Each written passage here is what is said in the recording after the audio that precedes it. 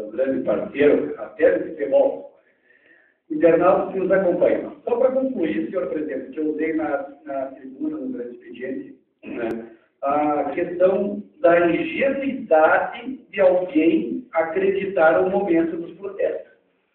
Vejam bem. Então, o que está se aproximando agora? Agora as eleições dos diretores. Nós somos os sacrificados, porque eles verem os municípios e ninguém vê lá em cima. Tá bom? Agora é O que, que eu falei há pouco tempo? Olha o governo estadual. Claro, estratégia que para mim é Moldova.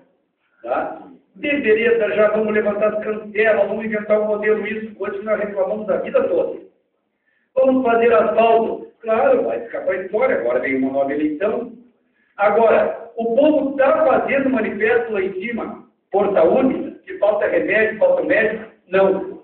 O povo fez questionamento sobre combustível? Não. Sobre o absurdo das pessoas que transportam o progresso no Brasil e de se sacrificar? Não. Alguém falou a respeito dos pedágios? Ninguém. Agora começa tudo, tá bom? Agora, vem cá.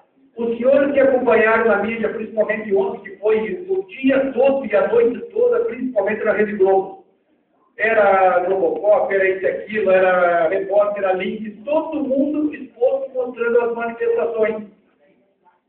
Gente, se não fosse, era um movimento politiqueiro e barato, tu acha que o cara vai lá se sujeitar, botar a cara na frente de uma 12, na frente de, de PMs, pelotões de shorts, por causa de, de 20 centavos?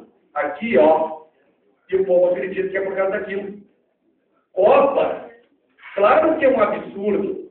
Os milhões gastos em cima desses estádios e é um dinheiro que nós vamos ficar pagando o resto da vida. Mas onde é que estão os manifestantes? Tá? Os que estão reclamando sobre pedágio? Ninguém.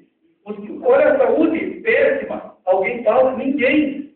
Então, é um protesto barato, um protesto malandro. Isso aí tem aqueles, aqueles genuínos, aqueles José Dirceu que ficaram o espírito dessa praga por trás das universidades, dos sindicatos, faz um movimento e a comunidade brasileira vai atrás. Olha aqui, ó, manifestação é normal, é um direito. O direito de greve é um direito, vamos lá reivindicar. Mas veja bem, vereador Jacques, vereador Michelon, invadem as lojas, roubam, quebram tudo, incendeiam o ônibus, os carros, aquele senhor lá, o único caminho que tinha para trabalhar no caminho 93, foram lá e queimaram. Quem é que vai pagar? Quem é que vai ressarcir o prejuízo dessas pessoas? Quem é que vai lá repor o que eles deixaram de vender nas lojas? Então, para mim, é um grupo de vandalista, é um grupo de marginal, porque o que usa do transporte coletivo, ele nem tem tempo de ir lá para a manifestação, ele não tem. Ele não vai botar o couro dele lá vereador Elton, por 20 centavos. Não é? É uma malandragem política. Porque tira um, bota aquela peruca, muda o penteado um pouquinho e vai o mesmo lá para dentro. É o potencial. Inteligência dele.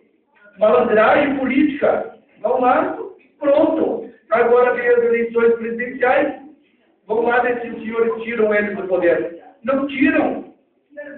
Tira, porque agora vai vir o Lula e vai dar um discurso. Fique tranquilo que eu vou resolver aquilo que uma vez para os senhores era protesto. Isso é muito pequenininho para resolver. Mas é uma estratégia política que ela polui.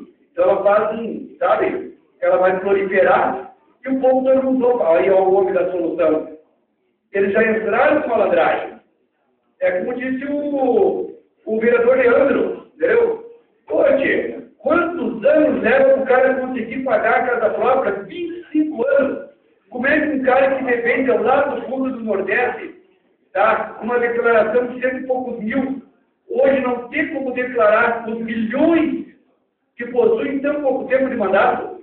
Hoje o filho está entre os mais ricos do Brasil. Poxa, fica, fica o questionamento.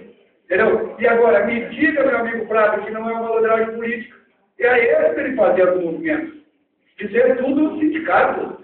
É época de fazer o movimento para o povo se sensibilizar.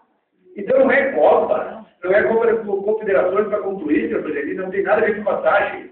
É, como é que não tem os trabalhadores ninguém vai fazer loucura com a passagem?